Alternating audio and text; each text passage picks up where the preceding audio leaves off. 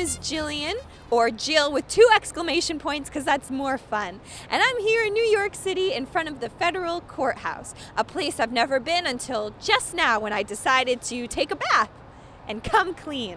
Today I'm going to come clean about a few things. The first thing is my cankles.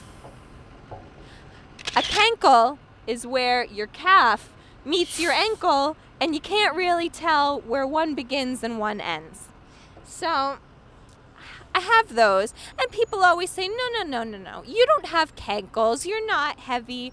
But I, I guess I was a little chub when I was growing up, and then I did gymnastics, and I think everything just became solid. So always have to wear high heels. I have to be careful about capris.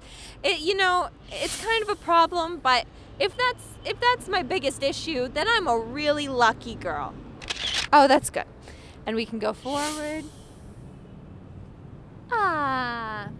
And we can maybe take one leg up. Maybe the other. Ooh. We'll come to the center. Wow. and we'll go over to the right. And over to the left.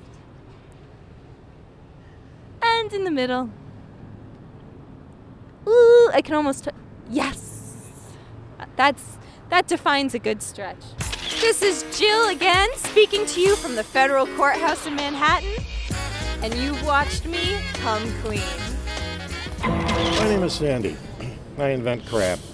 We're here in front of the criminal court building, where I'm going to tell you how I killed my mother. Inadvertently.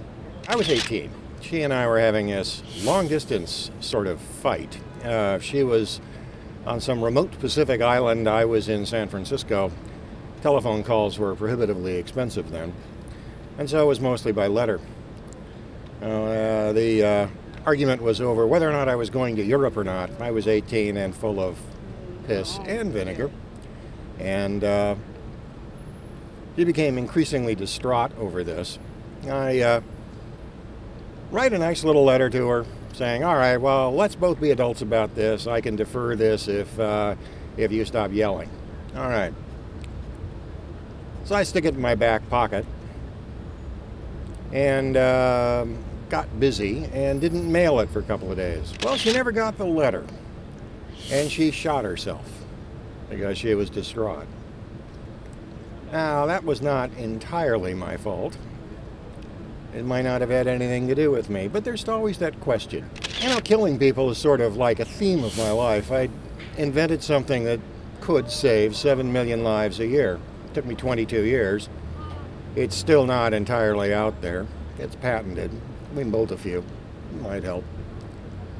So technically, if you wanted to add it all up, that would be what? Uh, 154 million people dead because I didn't have my, or- uh, my life organized? Hmm. I guess that makes me a fairly serious mass murderer. Kinda. We're in Manhattan and we're in New York. We're in front of the criminal courthouse. I'm Sandy. I'm going away now. A nice, polite mass murderer. Going to go have breakfast. It'll be an omelet, probably. A Bloody Mary's a little too early, I think. Hi, this is Manushka coming at you, sitting in the tub.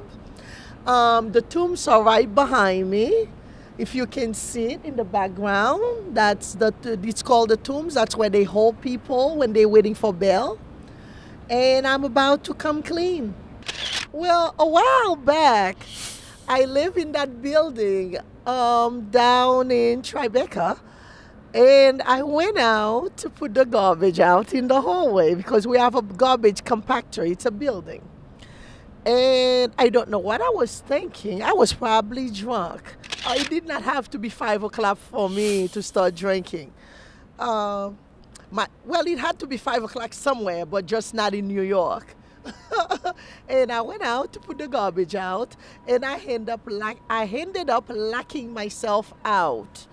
Um, and I was in the hallway in underwear. And I did not know how to signal the doorman. So I waited in the stairs. I sat down waiting quietly in the stairs, and it had to be for like four hours till my roommate came home. This is Manushka saying goodbye, sitting in the tub from Come Clean. And bye bye. Hi, my name is David Santana, and we're in front of the Supreme Court building in Lower Manhattan on 60 Centre Street, uh, also known as the Courthouse Ledges to skateboarders. Do you have something that uh, you'd like to come clean about? Something to get off your chest? Uh, yeah, I do. okay.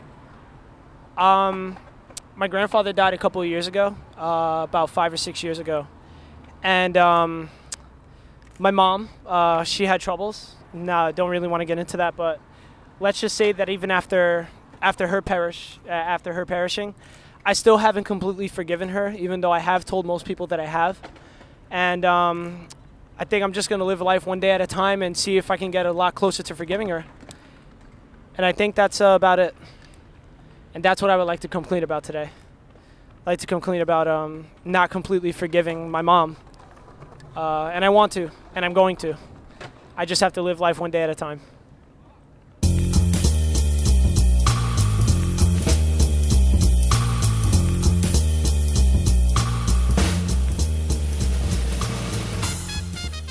Can anybody ask what this is?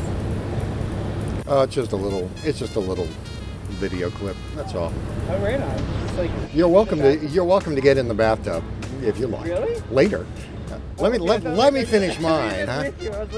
No, no, no, no. It, it, And can you do me a small. favor and jump out of the shot? Sure, no worries.